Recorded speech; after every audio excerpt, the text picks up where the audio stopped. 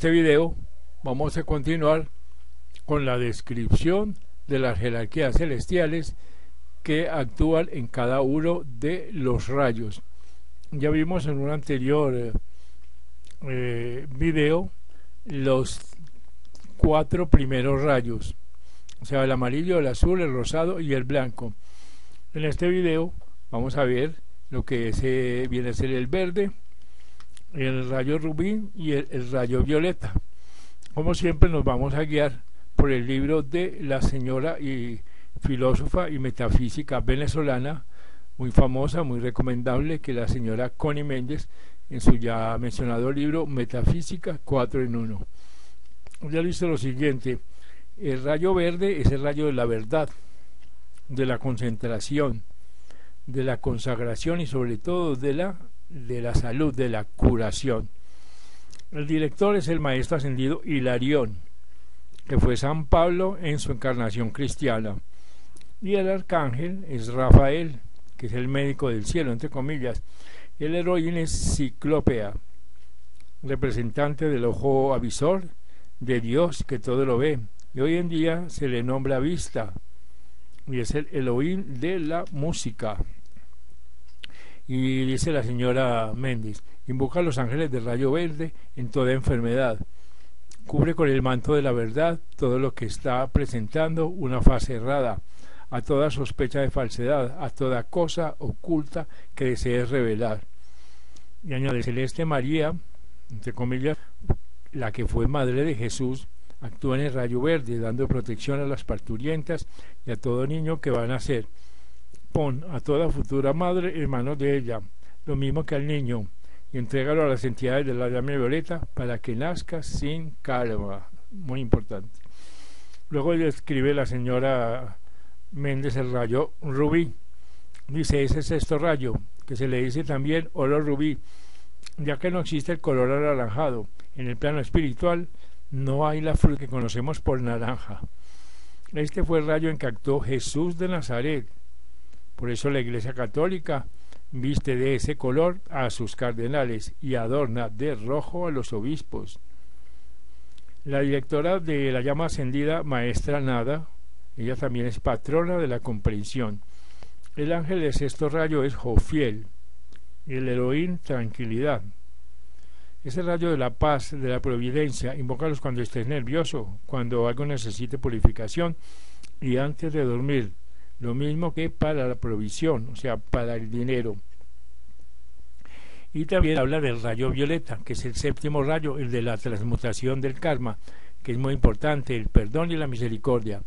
Dice, el director es el ascendido maestro San Germán, quien fue entre muchas, entre muchas generaciones José, San Albán, mártir británico, el monje médico Roger Bacon del siglo XIII, Cristian Rosancruz, fundador de la Orden Rosacruz del siglo XIV, Hyun de Janos, libertador de Hungría del siglo XV, Proclus, el gran neoplatonista del siglo XVI, Sir Francis Bacon, Lord Verulam del siglo XVII y por último el príncipe Rakoczy, último vástago de la Casa Real de Transilvania, y el conde San Germán, que era actuó durante la Revolución Francesa y gran figura misteriosa que salvaba a los destinados a la guituna, que ayudó a poner en el trono a Catalina la Grande, que habiendo muerto a finales del siglo XVIII, apareció en París tres años después de muerto.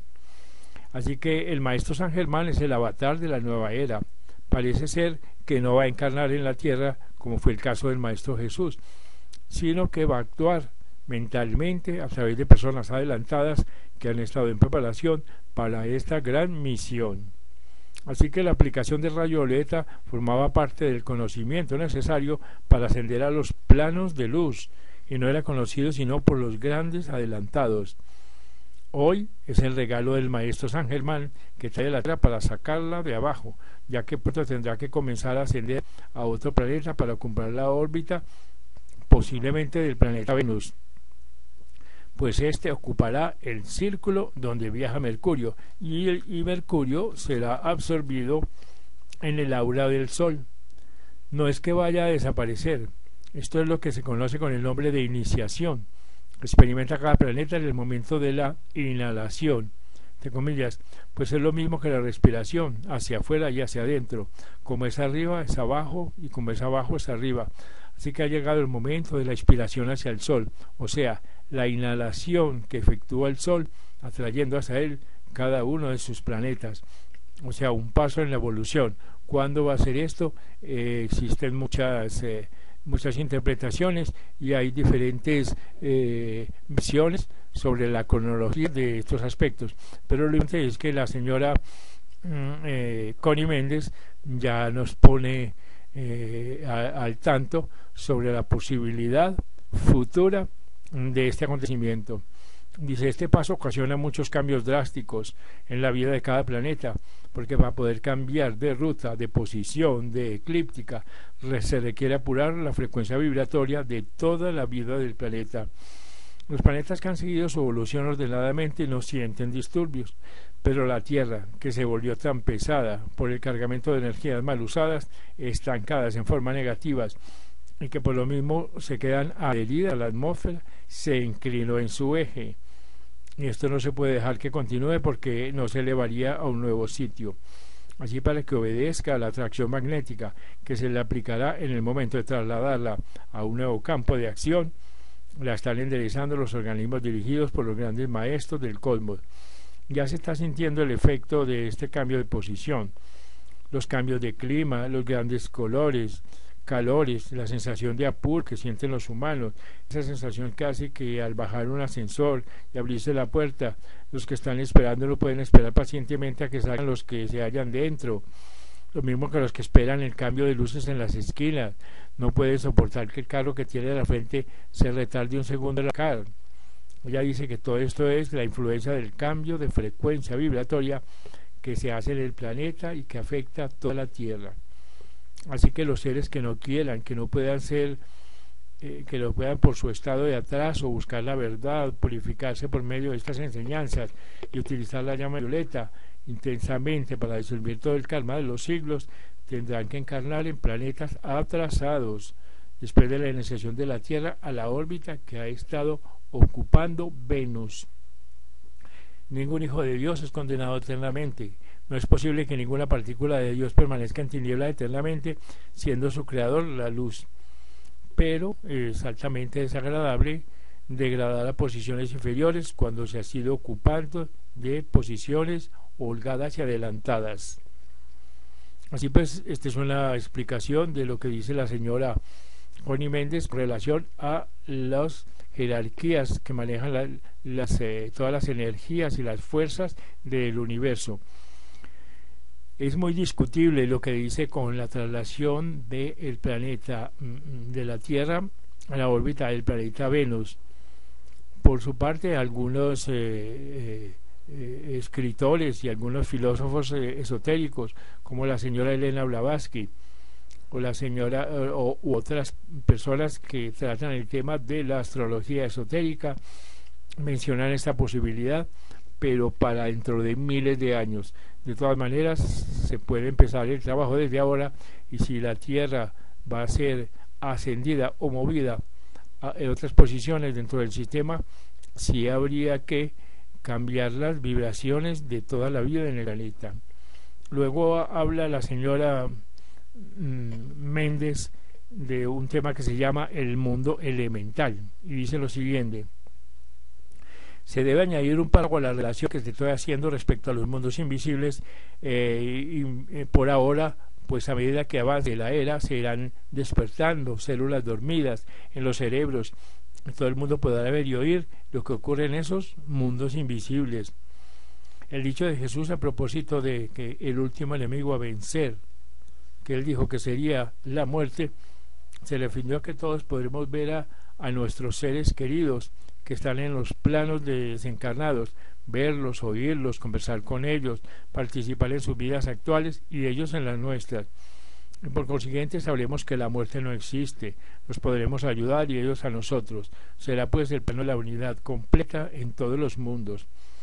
Otra cosa que aprenderemos en el futuro es la verdad elemental. Lo sabremos sin lugar a dudas porque lo veremos y lo escucharemos, si lo que te voy a referir te es imposible de creerlo por ahora, déjalo pasar, pero no te aferres al afirmar que no puede ser verdad, que no sea que cuando te estés afirmando se te despierte la célula dormida y veas aquello que estás negando. Sería un compromiso, ¿no? ¿Cómo haces entonces para tragar sus propias palabras? Pregunta la señora Méndez. Así que el reino elemental se compone de los cuentos de tu infancia. Todo aquello que tú creíste y que luego desechaste como pueril, como infantil, como fantasías de niños, resulta ser lo que dijo el Maestro Jesús. Comillas, dejad que los niños vengan a mí, porque de ellos es el reino de los cielos. Así que el reino elemental, hermano o hermana mía, comprende las hadas, los gnomos, los silfos, las ondinas, las salamandras y, cuidado, no se te ocurra negarlos, porque mientras odies no logras verlo. Feliz a quien, a quien se le permite sus células dormidas y que no esté afermado a sus creencias materiales mortales, porque verá el reino de los cielos. Ese es el que goza de las bienaventuranzas número uno y seis, igual a siete, o sea, primero, bienaventurados los pobres en el espíritu, porque de ellos es el reino de los cielos. Y la sexta, bienaventurados los limpios de corazón, porque de ellos eh, verán a Dios. Así que los pobres de espíritu no es lo mismo que los pobres de espíritu, entre comillas. Los traductores de la Biblia, como no eran ni pobres de espíritu ni de corazón, no sabían lo que esto significaba y la tradujeron eh, en forma errada. Así que los pobres en el espíritu son aquellos que no están cargados de riquezas intelectuales que les impidan creer la inocencia del reino. Todo aquel que enrosca el labio con una sonrisa sarcástica ante los cuentos de hadas que vamos a referir son ricos, entre comillas, a quienes les costará mucho entrar en el reino de los cielos, tanto como en un cabello entrar por el ojo de la una aguja. Pobres, dice la señora, no gozarán de ver a los nomitos en su tarea diaria, ni a las ondinas destilando el agua con que nos hacíamos la sed, y bañando nuestros cuerpos, y regarnos nuestros jardines, comerán sus frutas sin amor, cortarán las rosas sin amor, no verán las hadas tejiendo sus chinchorros del aire y meciéndose de la brisa, no conocerán los gnomos fabricando hojas, tallitos de grama, pétalos de flores, granitos de tierra. Todo esto seguirá siendo partículas de películas de Walt Disney para que el ricacho en el espíritu que tenga sucio el corazón. ¿Alguna vez se le ha ocurrido unos punticos de luz como gusanitos que se retuercen en el aire? Bueno, esos son los hijitos más chiquitos del Padre. Son elementales que a uno les ha sido adjudicada una tarea. Cuando se hayan saciado de, eh, de jugar en la luz, ellos mismos buscarán algo ocuparse y los devas y arcángeles los enseñan. Aprenden la mitad del agua, fuego, aire, tierra, flores, hojas, tallos, frutos, partículas, por supuesto, pero ellos solo tienen una inteligencia rudimentaria, un don de imitación que los hace transformarse en aquello que ven. Pero cuando por fin aprenden a convertirse en su objetivo y que lo reproducen a la perfección en olor, color, forma, textura y duración, ejercen su tarea por siglos. Ellos encarnan la paciencia infinita, no conocen el tedio, aunque sí conocen lo que es sentirse mal, incómodos, soportando un ambiente para el cual no nacieron como es el que tiene que reproducirse la inmundicia que dejan los humanos en el agua, en la tierra, entre el crimen, el odio, la vergüenza, el egoísmo, ya que el proemio que ellos acostumbran esperar es la aprobación y el amor de los humanos.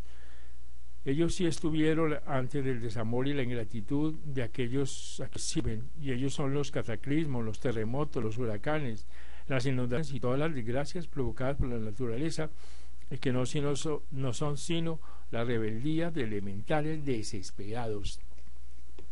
Así que ámalos, alábalos, exprésales las gracias, en especial al elemental que tiene la tarea de formar de nuevo tu cuerpo en cada encarnación y de mantenerlo en buen estado de funcionamiento para que no seas de los que participan en futuros desastres naturales y para que el elemental de su cuerpo te tome cariño y te atienda bien, te mantenga sano y hermoso. Así pues, este fin de los artículos que tiene la señora Connie Méndez sobre la jerarquía de las eh, de las jerarquías celestiales